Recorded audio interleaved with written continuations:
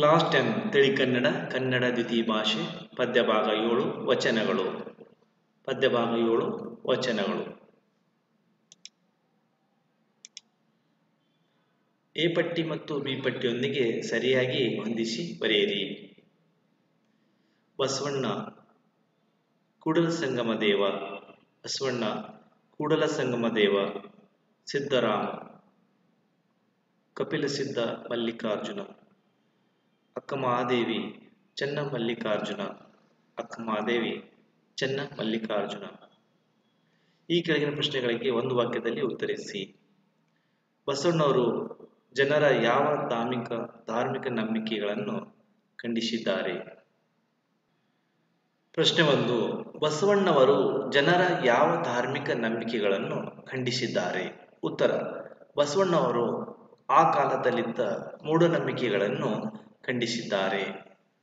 ಬಸವಣ್ಣವರು ಜನರ ಯಾವ ಧಾರ್ಮಿಕ ನಂಬಿಕೆಗಳನ್ನು ಖಂಡಿಸಿದ್ದಾರೆ? ಉತ್ತರ, ಬಸವಣ್ಣವರು ಆ ಕಾಲದಲ್ಲಿದ್ದ ಮೂಢನಂಬಿಕೆಗಳನ್ನು ಖಂಡಿಸಿದ್ದಾರೆ. ಪ್ರಶ್ನೆ ಎರಡು, ವೇಷ ಮತ್ತು ಆಚರಣೆಗಳ ನಡುವಿನ ಸಂಬಂಧ ಹೇಗಿರಬೇಕೆಂದು ಸಿದ್ದರಾಮ ಹೇಳಿದ್ದಾರೆ. ವೇಷ ಮತ್ತು ಆಚರಣೆಗಳ ನಡುವಿನ ಸಂಬಂಧ ಹೇಗಿರಬೇಕೆಂದು ಸಿದ್ದರಾಮ ಹೇಳಿದ್ದ, ಹೇಳುತ್ತಾರೆ. ಉತ್ತರ ಸಿದ್ದರಾಮ ತನ್ನ ವಚನದಲ್ಲಿ ಧರಿಸಿದಂತಹ ವೇಷಕ್ಕೆ ತಕ್ಕ ಆಚರಣೆ ಇಲ್ಲದೆ ಮೇಲೆ ವೇಷ ಧರಿಸಿ ಫಲವಿಲ್ಲ ಎಂದು ವೇಷ ಮತ್ತು ಆಚರಣೆಗಳ ನಡುವಿನ ಸಂಬಂಧ ಹೇಳುತ್ತಾರೆ. ಉತ್ತರ, ಸಿದ್ದರಾಮ ತನ್ನ ವಚನದಲ್ಲಿ ಧರಿಸಿದಂತಹ ವೇಷಕ್ಕೆ ತಕ್ಕ ಆಚರಣೆ ಇಲ್ಲದೆ ಮೇಲೆ ವೇಷ ಧರಿಸಿ ಫಲವಿಲ್ಲ ಎಂದು ವೇಷ ಆಚರಣೆಗಳ ಮೂಲಕ ನಡುವಿನ ಸಂಬಂಧ ಹೇಳುತ್ತಾರೆ. ಪ್ರಶ್ನೆ ಮೂರು, ವೇದಾಂತವನ್ನು ಓದಿದವನು ಹೇಗಿರಬೇಕೆಂದು ಸಿದ್ದರಾಮ ಹೇಳುತ್ತಾರೆ. ವೇದಾಂತವನ್ನು ಓದಿದವನು ಹೇಗಿರಬೇಕೆಂದು ಸಿದ್ದರಾಮ ಹೇಳುತ್ತಾರೆ. ಉತ್ತರ, ಸಿದ್ದರಾಮನು ಮಾನವ ಅರ್ಥ ಮಾಡಿಕೊಂಡು ಮೇಲೆ ಬ್ರಹ್ಮನಾಗಬೇಕು ಎಂದು ಹೇಳಿದ್ದಾರೆ. ಸಿದ್ದರಾಮನು ಮಾನವ ಅರ್ಥ ಮಾಡಿಕೊಂಡು ಮೇಲೆ ಬ್ರಹ್ಮನಾಗಬೇಕೆಂದು ಹೇಳಿದ್ದಾರೆ. ಪ್ರಶ್ನೆ ನಾಲ್ಕು ಕೆರೆಗಳು ನಿಷ್ಪ್ರಯೋಜಕ ಆಗುವುದು ಯಾವಾಗ? ಪ್ರಶ್ನೆ ನಾಲ್ಕು. ಕೆರೆಗಳು ನಿಷ್ಪ್ರಯೋಜಕ ಆಗುವುದು ಯಾವಾಗ? ಪುಣ್ಯ ತೀರ್ಥಗಳು ಬರದ ಮೇಲೆ ನಾನಾ ಕೆರೆಗಳನ್ನು ತೋಡಿ ಫಲವಿಲ್ಲ. ಎಂದು ಸಿದ್ದರಾಮ ಕೆರೆಗಳ ನಿಷ್ಪ್ರಯೋಜಕ ಬಗ್ಗೆ ಹೇಳಿದ್ದಾರೆ ಕೆರೆಗಳು ನಿಷ್ಪ್ರಯೋಜಕ ಆಗುವುದು ಯಾವಾಗ? ಉತ್ತರ ಪುಣ್ಯ ತೀರ್ಥಗಳು ಬರದ ಮೇಲೆ ನಾನಾ ಕೆರೆಗಳನ್ನು ತೋಡಿ ಫಲವಿಲ್ಲ ಎಂದು ಸಿದ್ದರಾಮ ಪುಣ್ಯಕೆರೆ ನಿಷ್ಪ್ರಯೋಜಕ ಬಗ್ಗೆ ಹೇಳಿದ್ದಾರೆ. ಪ್ರಶ್ನೆ ಐದು, ಧನವಿದ್ದವರಲ್ಲಿ ಇರಬೇಕಾದ ಗುಣ ಯಾವುದು? ಧನವಿದ್ದವರಲ್ಲಿ ಇರಬೇಕಾದ ಗುಣ ಯಾವುದು? ಉತ್ತರ, ಧನವಿದ್ದವರಲ್ಲಿ ಇರಬೇಕಾದ ಗುಣ ದಯೆ. ಧನವಿದ್ದವರಲ್ಲಿ ಇರಬೇಕಾದ ಗುಣ ಯಾವುದು? ಉತ್ತರ, ಧನವಿದ್ದವರಲ್ಲಿ ಇರಬೇಕಾದ ಗುಣ ದಯೆ. ಪ್ರಶ್ನೆ ಯಾರು ಅಕ್ಕ ಮಹಾದೇವಿಯು ತನ್ನ ಬದುಕು ಯಾವಾಗ ಫಲದಾಯಕ ಆಗುತ್ತದೆ ಎಂದು ಹೇಳುತ್ತಾರೆ. ಉತ್ತರ, ಅಕ್ಕ ಮಹಾದೇವಿಯು ತನ್ನ ಬದುಕು ಚೆನ್ನ ಮಲ್ಲಿಕಾರ್ಜುನ ದೇವರ ಜ್ಞಾನವಿದ್ದರೆ ಫಲದಾಯಕವಾಗುತ್ತದೆ. ಪ್ರಶ್ನೆ ಆರು, ಅಕ್ಕ ಮಹಾದೇವಿ ತನ್ನ ಬದುಕು ಯಾವಾಗ ಫಲದಾಯಕ ಆಗುತ್ತದೆ ಎಂದು ಹೇಳುತ್ತಾರೆ. ಅಕ್ಕ ಮಹಾದೇವಿ ತನ್ನ ಬದುಕು ಚೆನ್ನ ಮಲ್ಲಿಕಾರ್ಜುನ ದೇವರ ಜ್ಞಾನವಿದ್ದರೆ ಫಲದಾಯಕವಾಗುತ್ತದೆ. ಈ ಕೆಳಗಿನ ವಾಕ್ಯಗಳಿಗೆ ಮೂರ್ನಾಲ್ಕು ವಾಕ್ಯದಲ್ಲಿ ಉತ್ತರಿಸಿ. ಬಸವಣ್ಣವರು, ಪ್ರಶ್ನೆ ಒಂದು. ಬಸವಣ್ಣವರು ಜನರ ಧಾರ್ಮಿಕ ನಂಬಿಕೆಗಳನ್ನು ಏಕೆ ಖಂಡಿಸಿದ್ದಾರೆ? ಪ್ರಶ್ನೆ ಒಂದು. ಬಸವಣ್ಣವರು ಜನರ ಧಾರ್ಮಿಕ ನಂಬಿಕೆಗಳನ್ನು ಏಕೆ ಖಂಡಿಸಿದ್ದಾರೆ? ಉತ್ತರ. ಜನರು ನೀರನ್ನು ಕಂಡಲ್ಲಿ ಮುಳುಗುತ್ತಾರೆ, ಮರವನ್ನು ಕಂಡಾಗ ಸುತ್ತುತ್ತಾರೆ. ಹೀಗೆ ಹೀಗೆ ಬತ್ತುವ ಜಲವನ್ನು, ಒಣಗಿದ ಮರವನ್ನು ಮೆಚ್ಚಿದವರನ್ನು ಕೂಡಲ ಸಂಗಮವನ್ನು ಅರಿಯಲು ಸಾಧ್ಯವಿಲ್ಲ ಎಂದು ಹೇಳುತ್ತಾರೆ. ಹೀಗೆ ಆ ಕಾಲದಲ್ಲಿದ್ದ ಮೂಢನಂಬಿಕೆಯನ್ನು ಖಂಡಿಸುತ್ತಾ ಜನರು ಅರ್ಥವಿಲ್ಲದ ಆಚರಣೆಯನ್ನು ದೂರವಿಡಬೇಕು ಆದ್ದರಿಂದ ಬಸವಣ್ಣವರು ಜನರ ಧಾರ್ಮಿಕ ನಂಬಿಕೆಯನ್ನು ಖಂಡಿಸಿದ್ದಾರೆ. ಬಸವಣ್ಣವರು ಜನರ ಧಾರ್ಮಿಕ ನಂಬಿಕೆಗಳನ್ನು ಏಕೆ ಖಂಡಿಸಿದ್ದಾರೆ? ಉತ್ತರ, ಜನರು ನೀರನ್ನು ಕಂಡಲ್ಲಿ ಮುಳುಗುತ್ತಾರೆ, ಮರವನ್ನು ಕಂಡಾಗ ಸುತ್ತುತ್ತಾರೆ. ಹೀಗೆ ಹೀಗೆ ಹೀಗೆ ಬತ್ತುವ ಜಲವನ್ನು, ಒಣಗಿದ ಮರವನ್ನು ಬೆಚ್ಚಿದವರ, ಮೆಚ್ಚಿದವರ ಕುಡಲ ಸಂಗಮವನ್ನು ಅರಿಯಲು ಸಾಧ್ಯವಿಲ್ಲ ಎಂದು ಹೇಳುತ್ತಾರೆ. ಹೀಗೆ ಆ ಕಾಲದಲ್ಲಿದ್ದ ಮೂಢನಂಬಿಕೆಯನ್ನು ಖಂಡಿಸುತ್ತಾ ಜನರ ಅರ್ಥವಿಲ್ಲದ ಆಚರಣೆಯನ್ನು ದೂರವಿಡಬೇಕು ಆದ್ದರಿಂದ ಬಸವಣ್ಣವರು ತನ್ನ ಜನರ ಧಾರ್ಮಿಕ ಜನರ ಧಾರ್ಮಿಕ ನಂಬಿಕೆಯನ್ನು ಖಂಡಿಸಿದ್ದಾರೆ. ಪ್ರಶ್ನೆ ಎರಡು. ರೂಪಿಸಿದ್ದು ರೂಪಿಸಿದ್ದು ಫಲವೇನು? ಗುಣವಿಲ್ಲದನಕ ಈ ಮಾತಿನ ವಿಶಿಷ್ಟವೇನು? ಉತ್ತರ, ಗುಣವಿಲ್ಲದ ಮೇಲೆ ಸುಂದರವಾದ ರೂಪವಿದ್ದು, ಗುಣವಿಲ್ಲದ ಮೇಲೆ ಸುಂದರವಾದ ರೂಪವಿದ್ದು, ಫಲವಿಲ್ಲ ಎಂದ, ಎಂದು ಅಕ್ಕ ಮಹಾದೇವಿ ವಿವರಿಸಿದ್ದಾರೆ. ಮಾನವನ ರೂಪಕ್ಕಿಂತ ಅವನಲ್ಲಿರುವ ಗುಣವು ಹೆಚ್ಚು ಪ್ರಾಮುಖ್ಯತೆಯನ್ನು ವಹಿಸುತ್ತದೆ. ಆದ್ದರಿಂದ ಮಾನವನು ರೂಪಕ್ಕಿಂತ ಅವನಲ್ಲಿರುವ ಗುಣವು ಮಿಗಿಲಾಗಿದೆ. ರೂಪದಲ್ಲಿದ್ದರೂ ಸಹ ಸಹಾಯಕರ ಹಾಗೂ ಒಳ್ಳೆಯ ಗುಣವಿದ್ದಲ್ಲಿ ಎಲ್ಲರೂ ಅವನನ್ನು ಮೆಚ್ಚುತ್ತಾರೆ. ಗುಣವಿಲ್ಲದ ಮೇಲೆ ಸುಂದರವಾದ ರೂಪವಿದ್ದು ಫಲವಿಲ್ಲ ಎಂದು ಅಕ್ಕ ಮಹಾತಿ ವಿವರಿಸಿದ್ದಾರೆ. ಮಾನವನ ರೂಪಕ್ಕಿಂತ ಅವನಲ್ಲಿರುವ ಗುಣ ಹೆಚ್ಚು ಪ್ರಾಮುಖ್ಯತೆ ವಹಿಸುತ್ತದೆ. ಆದ್ದರಿಂದ ಮಾನವನ ರೂಪಕ್ಕಿಂತ ಹೆಚ್ಚು ಅವನಲ್ಲಿರುವ ಗುಣ ಮಿಗಿಲಾಗಿದೆ. ರೂಪ, ರೂಪವಿಲ್ಲದಲ್ಲೂ ಸಹ ಸಹಾಯಕರ ಒಳ್ಳೆ ಗುಣವಿದ್ದಲ್ಲಿ ಎಲ್ಲರೂ ಅವನನ್ನು ಮೆಚ್ಚುತ್ತಾರೆ. ಈ ಕೆಳಗಿನ ಪ್ರಶ್ನೆ ಎಂಟು ಹತ್ತು ವಾಕ್ಯದಲ್ಲಿ ಉತ್ತರಿಸಿ. ಪ್ರಶ್ನೆ ಒಂದು, ಬಸವಣ್ಣವರು ಜನರ ಮೌಢ್ಯತೆಯನ್ನು ಮೌಢ್ಯತೆಯನ್ನು ಯಾವ ರೀತಿ ಖಂಡಿಸಿದ್ದಾರೆ?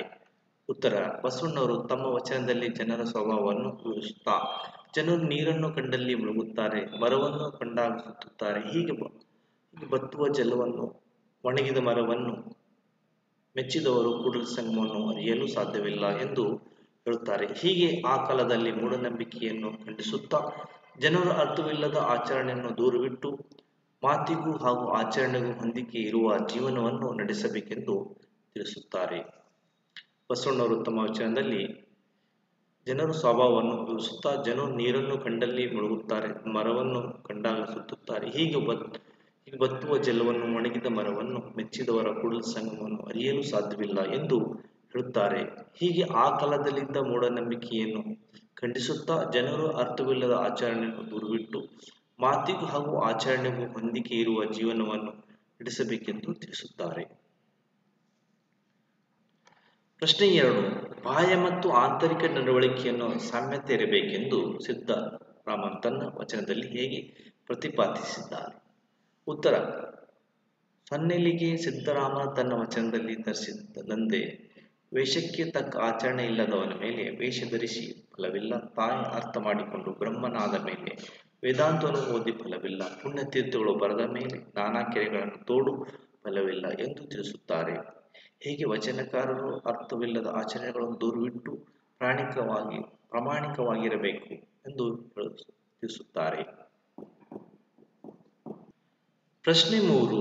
ಅಕ್ಕಮಹಾದೇವಿ ತನ್ನ ಬದುಕು ಫಲದಾಯಕವಾಗುವುದನ್ನು ಯಾವ ನಿರ್ದೇಶನಗಳೊಂದಿಗೆ ಸಮರ್ಥಿಸುತ್ತಾಳೆ? ಉತ್ತರ ಅಕ್ಕಮಾದೇವಿ ತನ್ನ ವಚನದಲ್ಲಿ ನೆರಳಿನೆಲ್ಲದ ಮೇಲೆ ಮರವಿದ್ದು ಪ್ರಯೋಜನವಿಲ್ಲ. ಅಕ್ಕಮಾದೇವಿ ತನ್ನ ವಚನದಲ್ಲಿ ನೆರಳಿಲ್ಲದ ಮೇಲೆ ಮರವಿದ್ದು ಪ್ರಯೋಜನವಿಲ್ಲ.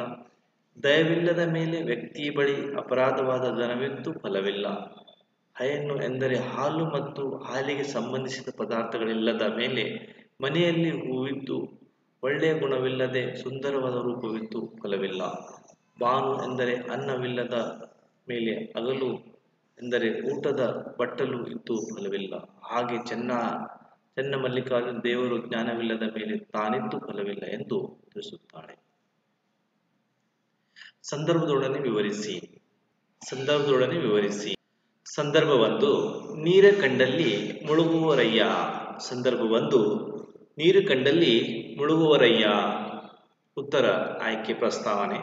ಪ್ರಸ್ತುತ ಈ ವಾಕ್ಯವನ್ನು ಬಸವಣ್ಣವರು ರಚಿಸಿರುವ ಕುರುಡು ಸಂಪ್ರದಾಯವನ್ನು ಕುರಿತು ಹೇಳುವಾಗ ಈ ಮಾತನ್ನು ಹೇಳಿದ್ದಾರೆ. ಸಂದರ್ಭ, ಬಸವಣ್ಣವರು ಮಾನವರು ಅನುಸರಿಸುತ್ತಿರುವ ಕುರುಡು ಸಂಪ್ರದಾಯವನ್ನು ಕುರಿತು ಹೇಳುವಾಗ ಈ ಮಾತನ್ನು ಹೇಳಿದ್ದಾರೆ.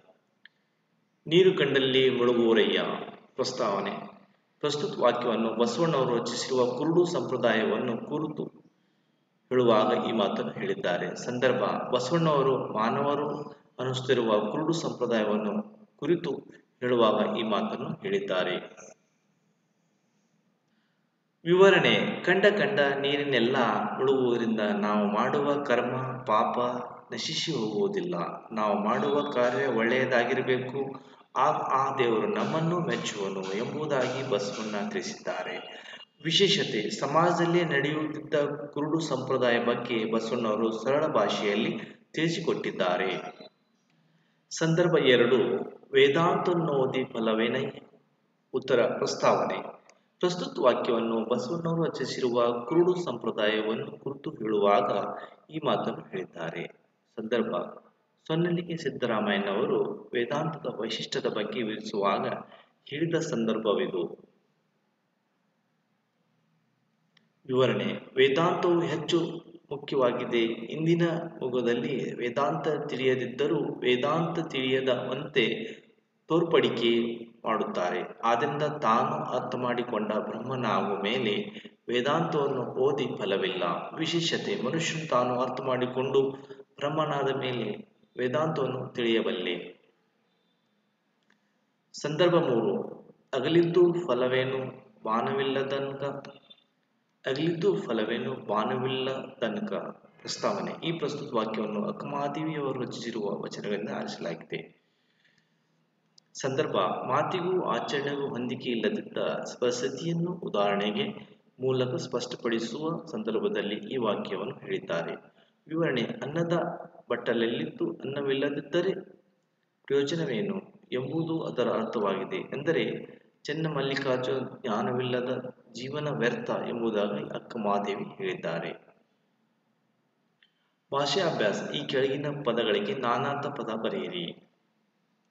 ಕಾಡು, ಅರಣ್ಯ, ವನ, ಪೀಡಿಸು, ಕೆರೆ, ಏರಿ ತಟಾಕ ಹಗಲು, ಊಟದ ತಟ್ಟೆ, ಕೆ ಬೇರೆಯಾಗು, ದೂರವಾಗು, ತೋರೆ ನದಿ ಹೊಳೆ ತೇಜಸ್ಸು, ಎತ್ತು ಪ್ರಾಣಿ. ಈ ಕೆಳಗಿನ ಪದಗಳನ್ನು ಬಿಡಿಸಿ ಸಂಧಿ ಹೆಸರು ಬರೆಯಿರಿ. ವೇಷದಂತ ಆಚರಣೆ ವೇಷದಂತ ಆಚರಣೆ. ಸ್ವರ್ಣ ದೀರ್ಘ ಸಂಧಿ, ವೇದಾಂತವನ್ನು ಪ್ಲಸ್ ಓದಿ, ವೇದಾಂತವನ್ನು ಓದಿ ಲೋಪಸಂಧಿ ಗುಣವು ಪ್ಲಸ್ ಇಲ್ಲ, ಗುಣವಿಲ್ಲ, ಆಗಮ ಸಂಧಿ, ವಕಾರಗಮ ಸಂಧಿ. ಈ ಕೆಳಗಿನ ತತ್ಸಮ ತದ್ವರೂಪ ಬರೆಯಿರಿ. ಬ್ರಹ್ಮ, ಭೂಮ, ಪುಣ್ಯ ಪುಣ್ಯ ಜ್ಞಾನ, ಜಾನ. ಈ ಕೆಳಗಿನ ಪದಗಳಿಗೆ ವಿರುದ್ಧಾರ್ಥಕ ಪದಗಳ ಬರೆಯಿರಿ. ಮುಳುಗು, ತೇಲು, ಬತ್ತು ಒರಸು ಫಲ, ನಿಷ್ಠ, ಪುಣ್ಯ, ಪಾಪ, ದಯೆ, ನಿರ್ದಯೆ, ಜ್ಞಾನ, ಅಜ್ಞಾನ. ಈ ವಿಡಿಯೋವನ್ನು ಎಲ್ಲ ಟೆಂತ್ ವಿದ್ಯಾರ್ಥಿಗಳಿಗೆ ಶೇರ್ ಮಾಡಿ ಮತ್ತು ಲೈಕ್ ಮಾಡಿ. Thank you for watching and subscribe expert career academy Vijayapur in Vijapur ವಿಳಾಸ ಸೈನಿಕ್ ಸ್ಕೂಲ್ ಮೊದಲನೇ ಗೇಟ್ ಹತ್ತಿರ ಹಬೀಬ್ ನಗರ್ ವಿಜಯಪುರ್ ನಮ್ಮಲ್ಲಿ summer vacation class and regular class admission open ಆಗಿವೆ.